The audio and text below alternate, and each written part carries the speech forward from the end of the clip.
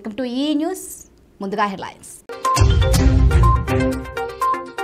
ఎంత ఇచ్చినా తీసుకోండి ఓటు నాకే వేయండి. హుజూరాబాద్లో కాకనేపుతున్న ఈటల ప్రచారం. సాగు విధానంపై అవగాహన సదస్సులు. మెదక్ జిల్లా రైతులకు అధికారుల సలహాలు. నేడు దిల్సుఖ్ నగర్ నుంచి ఎల్బీ నగర్ వరకు పాదయాత్ర. మమ్మల్ని రెచ్చగొట్టకండి అంటున్నారు రేవంత్ రెడ్డి. కాసేపట్లో బాలాజీపేట సెంటర్కు పవన్ కళ్యాణ్. పవన్ కళ్యాణ్కు ఘన స్వాగతం పలుకుతోన్న స్థానికులు. పశ్చిమ గోదావరి జిల్లా దేవరపల్లి మండలం సంగాయగూడెంలో ఎమ్మెల్యే తలారి వెంకట్రావు పాదయాత్ర నిర్వహించారు. గోపాలపురం గడపలోనికి ఎమ్మెల్యే తలారి అనే కార్యక్రమంలో భాగంగా ఆయన గ్రామంలో సమస్యలు తెలుసుకుంటూ వాటిని పరిష్కరిస్తూ ముందుకు సాగారు. సచివాలయ వ్యవస్థ వాలంటీర్ల వ్యవస్థ పనితీరును సమీక్షించారు. అలాగే అర్హులైన పేదలకు ఇళ్ళ పట్టాలు పంపిణీ చేశారు. ఎర్లీగా అయిపోయింది కనుక ఇక్కడ ఈ మీటింగ్ ద్వారానే కంప్లీట్ చేస్తున్నాం తెలియజేస్తూ. మరి ముఖ్యంగా గౌరవ ముఖ్యమంత్రి గారు మాట ఇచ్చిన ప్రకారం అన్ని సంక్షేమ పథకాలు చేస్తూ ఇంకా మిగిలిన ఏమున్నాయో ఏం ఇవ్వాలి అనే సమస్యలు మేము మీ వద్ద తెలుసుకున్న వరకు మీ వద్దకు మేము రావడం జరిగింది. మీ గ్రామంలో మెయిన్ సమస్య అంతా డ్రైనేజ్ వ్యవస్థ చక్కగా లేదు. ఎందుకంటే గతంలోనే ఇక్కడ కూడా ఒక కోటి రూపాయలు మనం రోడ్లు ట్రైన్ శాంక్షన్ చేయడం అనేది అప్పట్లో కరోనా వచ్చిందని ఆపేయడం వల్ల కాంట్రాక్ట్స్ రాక అవి ఫండ్స్ వెనక్కి పోవడం జరిగింది. దాని వచ్చే నెలలో అసెంబ్లీ అయినాక మరలా కొత్త బడ్జెట్ పెట్టి దాంట్లో మీ గ్రామానికి టోటల్గా డ్రైనేజ్ వ్యవస్థ రోడ్డు కింద ఉన్న ఇదంతా చేస్తానని మీ అందరికీ మాట ఇస్తాను ముందుగా.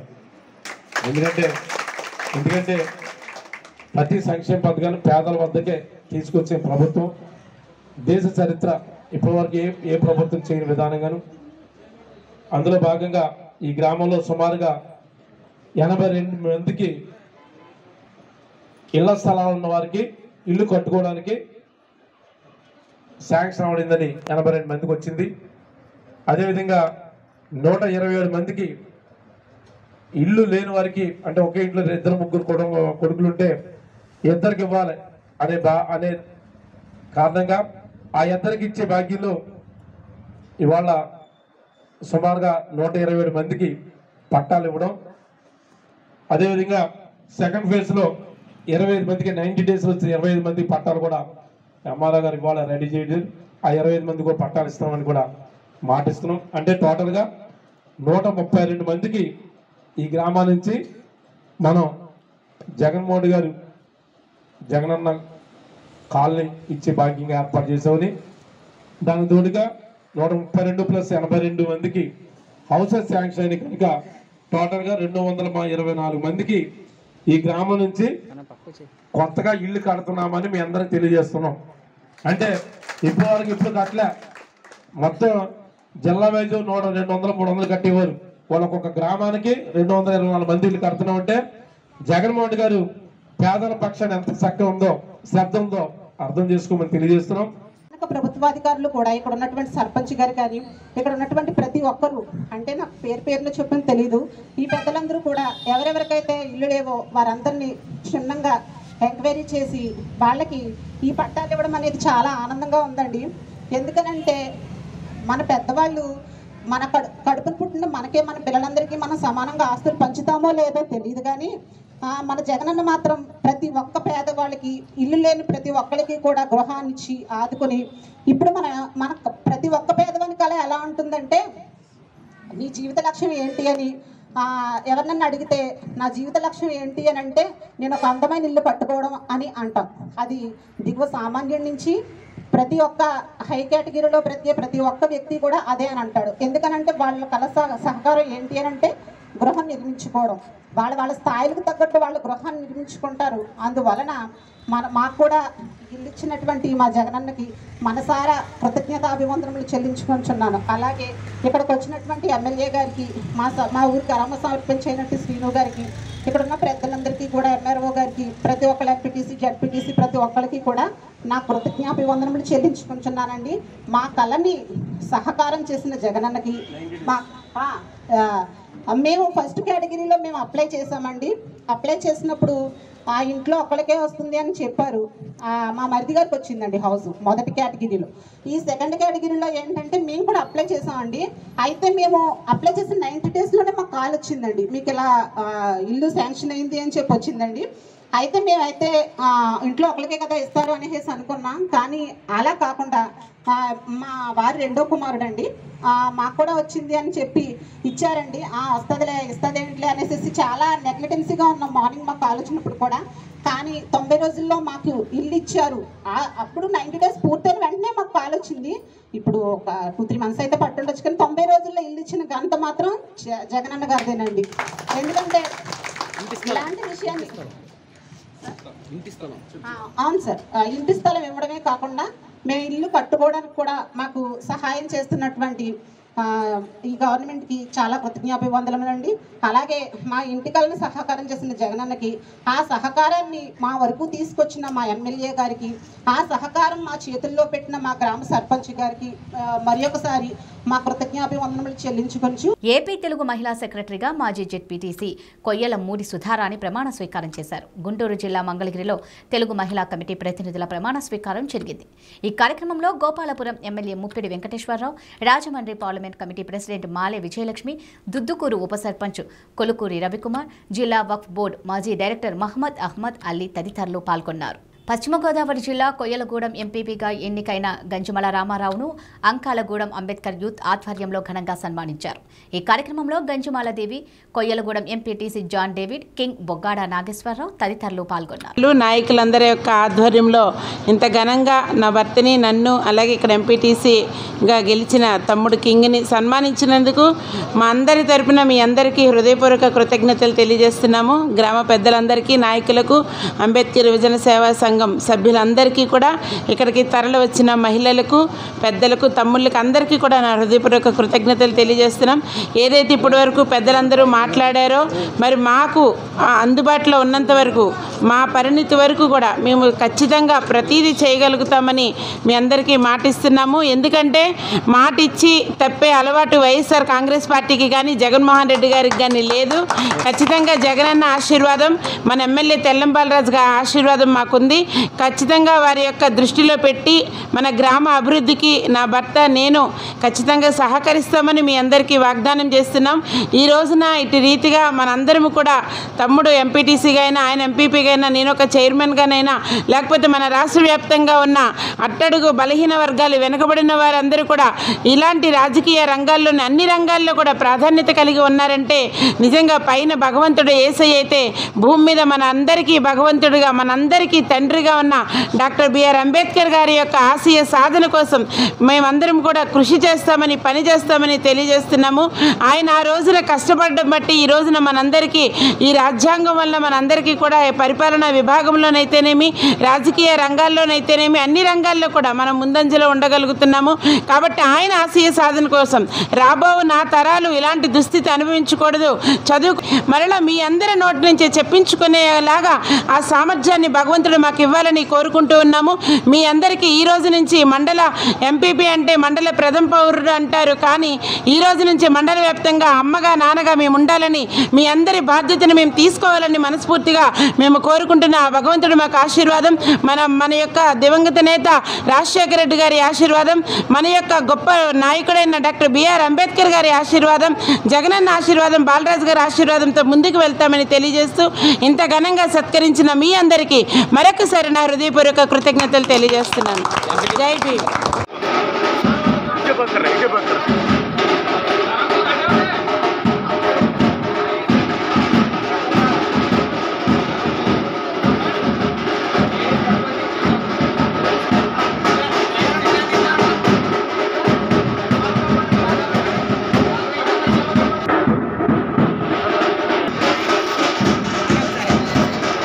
ఘనంగా ఇంత ఘనంగా సన్మానించిన మన అంబేద్కర్ సేవా సమితి సంఘ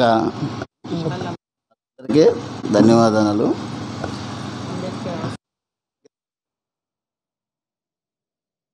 సిద్ధాంతాలు నడుచుకుంటారని అందరికీ అందుబాటులో ఉంటానని ఉంటా అభివృద్ధి కార్యక్రమాల్లో ముందుకు వెళ్తారని ప్రజలందరికీ మన మన ముఖ్యమంత్రి జగన్మోహన్ రెడ్డి గారు ఆశయాల ప్రకారంగా మన బాలరాజు గారు తల్లి మన ఎమ్మెల్యే గారు ఆశయాల ఏ ఏ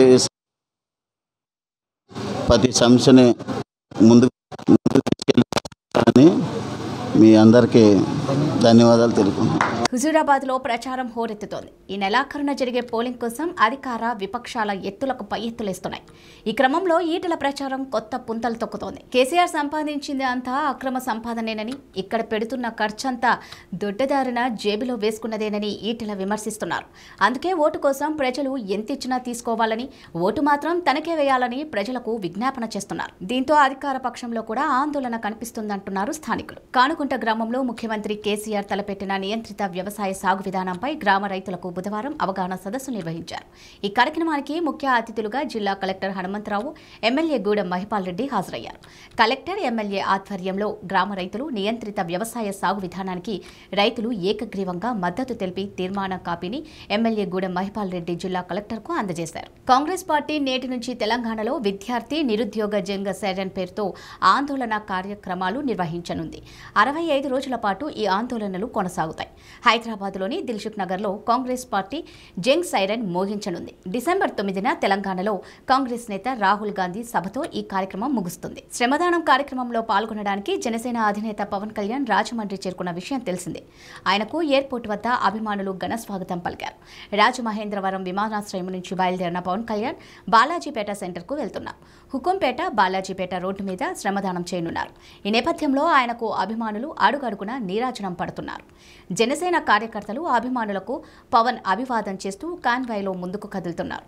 శ్రమదానం తర్వాత బహిరంగ సభలో పవన్ కళ్యాణ్ పాల్గొంటారు. బాలాజీపేట పరిసరాల్లో ఎలాంటి ఆంక్షలు లేవని ఏఎస్పీ అంటున్నారు. మరోవైపు ఏపీ వ్యాప్తంగా జనసేన నేతలు కార్యకర్తలు శ్రమదానం కార్యక్రమంలో పాల్గొంటున్నారు. తెలంగాణ వస్తే మన ఉద్యోగాలు మనకు వస్తాయని కేసీఆర్ ఆశలు రేపారని అదే ఆశతో ఇరవై ఏళ్ళుగా ఉద్యోగాల కోసం పోరాడుతున్నామని అయితే తెలంగాణ ఏర్పడ్డాక ఎనిమిదేళ్ళైనా కూడా ఉద్యోగాలు ఇవ్వకుండా మోసం చేస్తున్నారని సింగరేణిలో పలువురు డిపెండెంట్లు వాపోతున్నారు. పెద్దపల్లి జిల్లా రామగుండ మండలం గోదావరికనిలో కోరం నరేందర్ రెడ్డి గోరు పార్టీ రాము చంద్రమోహన్ సంపత్ తదితర డిపెండెంట్ల బృందం కేంద్ర రాష్ట్ర ప్రభుత్వాలకు విజ్ఞప్తి చేస్తోంది. పంతొమ్మిది వందల తొంభై ఏడు నుండి రెండు వేల ఒకటి వరకు బీఆర్ఎస్ తీసుకుని రెండుసార్లు మెడికల్ ఫిట్ అయ్యాక కూడా ఉద్యోగాలు ఇవ్వకుండా సింగరేణి యాజమాన్యం మోసం చేస్తుందని బాధితులు ఆందోళన వ్యక్తం చేస్తున్నారు. పెద్దపల్లి మాజీ ఎంపీ వివేక్ వెంకటస్వామి ఆధ్వర్యంలో కేంద్ర కార్మిక శాఖ మంత్రి భూపేందర్ యాదవ్కు వినతిపత్రం సమర్పించామన్నారు. ఇకనైనా కేంద్ర రాష్ట్ర ప్రభుత్వాలు తమ గోడు విని పరిష్కారం చూపాలని కోరారు. వచ్చిన తర్వాత మా ఉద్యోగాలు మాకు వచ్చి మా బతుకులు బాగుపడతాయని చెప్పి ఎంతో ఆశగా తెలంగాణ పోరాటంలో మేము కూడా మా వంతు పాత్ర వహించి కష్టపడి సాధించుకున్న మన తెలంగాణలో ఈ టీఆర్ఎస్ ప్రభుత్వం ఏర్పడ్డాక నడి అసెంబ్లీ సాక్షిగా కేసీఆర్ సింగరేణి కార్మిక సేవ అనేది తెలంగాణ పోరాటంలో అమోఘమైంది. కాబట్టి ఆ నష్టపోయిన కార్మికుల పిల్లలకు నూటికి నూరు శాతం తప్పకుండా ఉద్యోగ అవకాశాలు కల్పిస్తానని చెప్పి హామీ ఇవ్వడం జరిగింది. గత ఇరవై సంవత్సరాలుగా మా ఉద్యోగాల కోసం పోరాటం చేస్తున్న క్రమంలో తెలంగాణ ప్రభుత్వం ఏర్పడిన కాడి నుండి కూడా ఏడు సంవత్సరాల నుండి స్థానికంగా ఉన్న కోల్గడ్ వ్యాప్తంగా శాసనసభ్యులకు పార్లమెంట్ సభ్యులకు మా ఉద్యోగాల కోసం మా ఆవేదన కోసం అన్నీ విన్నవించుకోవడం జరిగింది. ఇటువంటి తరుణంలో అసెంబ్లీలో అసెంబ్లీ సాక్షిగా గౌరవ ముఖ్యమంత్రి గారు కల్వకుంట్ల చంద్రశేఖరరావు గారు సింగరేణిలో ఖాళీలు ఉన్నాయి. తప్పకుండా కార్మికుల పిల్లలకు న్యాయం చేస్తాం. మీకు ఉద్యోగాలు ఇస్తామని హామీ ఇవ్వడం జరిగింది. కానీ ఇంతవరకు కూడా ఉద్యోగాల ప్రస్తావనే లేదు. మాకు అన్యాయం చేస్తూనే ఉన్నారు. ఇటువంటి తరుణంలో గౌరవ బీజేపీ కోర్ కమిటీ సభ్యులు వివేక్ వెంకటస్వామి గారు మా విషయం మా మాకు జరిగిన అన్యాయాన్ని గుర్తించి కేంద్ర కార్మిక శాఖ మంత్రి గారిని ఢిల్లీలో కార్మిక భవన్లో శ్రామిక భవన్లో భూపేందర్ యాదవ్ గారిని కలిసి మా యొక్క సమస్య కోసం వినియోగించడం జరిగింది. వారు కూడా సానుకూలంగా స్పందించి మీకు న్యాయం చేస్తాము మీకు ఉద్యోగాలు వచ్చేలా చేస్తామని చెప్పడం కూడా జరిగింది. అందుకే మళ్ళీ ఒకసారి సిఎల్సి సెంట్రల్ లేబర్ కమిషనర్ గారిని కలిసి మా విషయాన్ని తొందరగా చర్చించి సింగరిని యాజమాన్యాన్ని మెడలు వంచైనా కూడా మా ఉద్యోగాలు మాకు కల్పించాలని మరొకసారి వివేక్ వెంకటస్వామి గారిని కోరుకుంటూ మేము తెలియజేసుకుంటా ఉన్నాం. చదువు మధ్యలో నిలిపివేసిన వారికి ఓపెన్ స్కూల్ ఒక వరం లాంటిదని ఓపెన్ స్కూల్ జిల్లా కోఆర్డినేటర్ వెంకటస్వామి అన్నారు. మెదక్ జిల్లా వెల్తుర్తి మండలంలోని ప్రభుత్వ పాఠశాలలో ఓపెన్ స్కూల్ గోడపత్రికను ఆయన ఆవిష్కరించారు. రెండు వేల ఇరవై ఒకటి ఇరవై రెండు సంవత్సరానికి గాను పదో తరగతి అలాగే ఇంటర్మీడియట్ చదివే విద్యార్థుల కోసం ప్రవేశాలు మొదలయ్యాయని చదువు మధ్యలో నిలిపివేసిన వారు ఓపెన్ స్కూల్లో చదివేందుకు దరఖాస్తు చేసుకోవాలని ఆయన కోరారు. మెదక్ జిల్లా వ్యాప్తంగా ఇప్పటి వరకు మూడు వేల మందికి పైగా దరఖాస్తులు చేసుకున్నారని ఆయన చెప్పారు. మరియు ఇంటర్మీడియట్ అడ్మిషన్ పొందడానికి అవకాశం ఉంది. వీరందరూ కూడా పద్నాలుగు సంవత్సరాల పైబడి వయస్సు కలిగి ఎలాంటి విద్యార్హత లేకపోయినా కూడా వారు పదవ తరగతిలో అడ్మిషన్ పొందడానికి అవకాశం ఉంటుంది. అదేవిధంగా పదిహేను సంవత్సరాల వయస్సు పైబడి పదవ తరగతి పాస్ అయిన వాళ్ళందరూ కూడా ఇంటర్మీడియట్లో అడ్మిషన్ పొందడానికి అవకాశం ఉంటుంది. ఇక్కడ ఓపెన్ స్కూల్ పదవ తరగతి అయినా లేదా ఇంటర్మీడియట్ అయినా కూడా మరి పాస్ అయిన తర్వాత వారికి పాస్ సర్టిఫికేట్ ఇవ్వడం జరుగుతుంది. అటు సర్టిఫికేట్ రెగ్యులర్ పదవ తరగతి మరియు రెగ్యులర్ ఇంటర్మీడియట్ సర్టిఫికేట్ సమానంగా మరి పై చదువులకు కానీ ఉద్యోగాలకు కానీ ప్రమోషన్లకు కానీ ఇతర ఉపాధి అవకాశాలకు కానీ పనిచేయడం జరుగుతుంది. మరి ఈ సంవత్సరము అడ్మిషన్ల ప్రక్రియ కొనసాగుతుంది. ఇప్పటివరకు ఉమ్మడి జిల్లా పరిధిలో మనకు మూడు వేల అడ్మిషన్స్ పూర్తి చేయడం జరిగింది. మరి మొత్తంగా ఉమ్మడి జిల్లాలో వంద అధ్యయన కేంద్రాలు మనం ఈ అడ్మిషన్ల ప్రక్రియ కొనసాగిస్తున్నాం. మరి ఈ వంద అధ్యయన కేంద్రాలు కూడా జిల్లా సంబంధించిన వారైనా ఇతర జిల్లాల వారైనా కూడా ఎవరైనా అడ్మిషన్ పొందడానికి అవకాశం ఉంది. కాబట్టి ఈ చక్కటి అవకాశాన్ని ఎవరైతే వారి నిజ జీవితంలో వారి వయసు రీత్యా పద్నాలుగు పై పదిహేను సంవత్సరాలప్పుడు పదవ తరగతి మరి ఇంటర్మీడియట్ పూర్తి చేసే అవకాశం ఉంటుంది.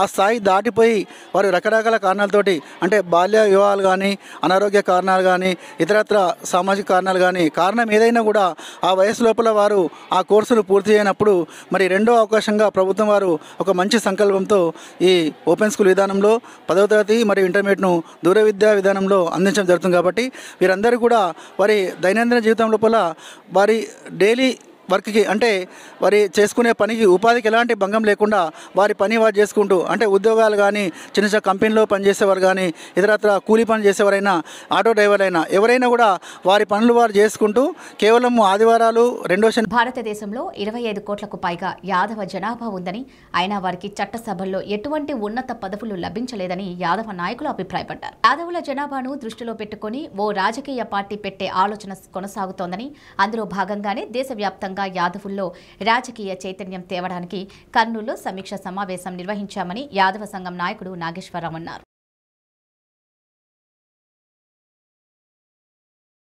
ఓట్లు మావి సీట్లు మీవి అని ఈ ఆధిపత్య పార్టీలను ప్రశ్నిస్తూ మరి జనాభా ఉంటే ఇరవై ఐదు కోట్ల జనాభా యాదవులది ఉంది. మరి అందుకోసమే ఇరవై ఐదు కోట్లకు తగ్గట్టు భారతదేశంలో కానీ మరి ఇక్కడ కానీ జనాభా నిష్పత్తి ప్రకారం రాజ్యాధికారంలో భాగం ఇవ్వాలనే ఒక ముఖ్య స్లోగన్తో ఈ రాజ్యాధికారంలో భాగం సాధించుకోవడానికి మరి మేము ముందుకెళ్తా ఉన్నాం. మరి అట్లాగే బీసీలకు చట్టసభల్లో రిజర్వేషన్స్ ఇవ్వాలి అందులో యాదవుల వాటా ఇవ్వాలి. మరి ఈరోజు ఈ కేంద్ర రాష్ట్ర ప్రభుత్వాలని ఈ సమీక్షా సమావేశంలో కానీ మరి భారతదేశ రథయాత్రలో కానీ ప్రశ్నించబోతున్నాం. మరి ఈ కర్నూలు జిల్లాలో ఈ యాత్రకు మరి ఈ సమీక్ష సమావేశానికి విజయవంతం చేయడానికి కృషి చేసిన ప్రతి ఒక్క నాయకునికి కృతజ్ఞతలు తెలియజేసుకుంటూ కేంద్ర రాష్ట్ర నిర్లక్ష్య వైఖరి.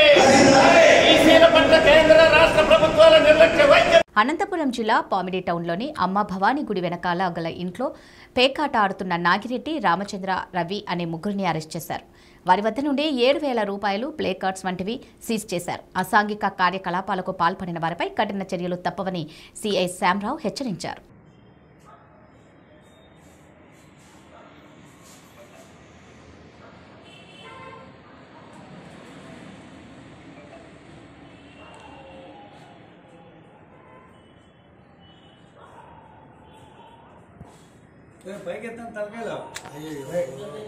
ఏందమ్మా మీరు?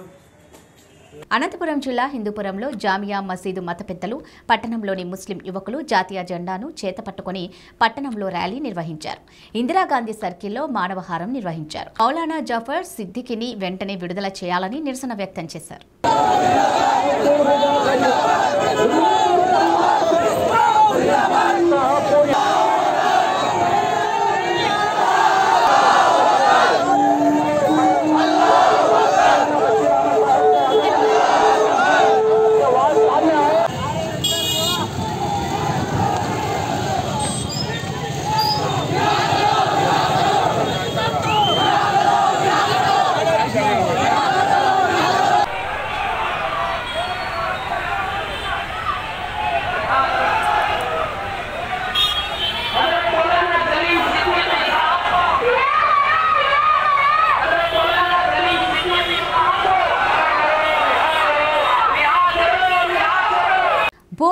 ఆక్రమణలను పరిశీలించేందుకు వెళ్ళిన టీడీపీ నాయకులపై జగన్ ప్రభుత్వం కేసులు పెట్టి వేధిస్తోందని వెంటనే ఆ కేసులు ఎత్తివేయాలని చిత్తూరు జిల్లా రేణిగుంట అంబేద్కర్ విగ్రహం వద్ద టీడీపీ నాయకులు కార్యకర్తలు ధర్నా నిర్వహించారు. భూ ఆక్రమణలకు వ్యతిరేకంగా నినాదాలు చేశారు. అనంతరం తిరుపతి పార్లమెంట్ అధ్యక్షులు నరసింహ యాదవ్ మీడియాతో మాట్లాడుతూ తిరుపతి శ్రీకాళహస్తి పుణ్యక్షేత్రాలు ఉన్న నియోజకవర్గాల్లో శాంతి భద్రతలు పరిరక్షించేందుకు రాష్ట్ర ప్రభుత్వం పోలీసు యంత్రాంగం బాధ్యతగా పనిచేయాలని కోరారు.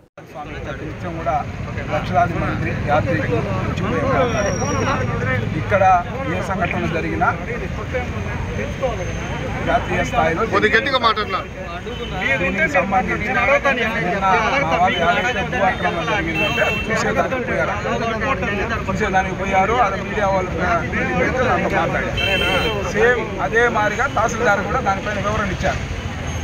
ఇది జరిగింది వాస్తవం. కానీ కృష్ణారెడ్డి అనే అతను అతను ఊళ్ళో కూడా లేడు. అతను ఏ విధంగా కంప్లైంట్ ఇస్తాడు?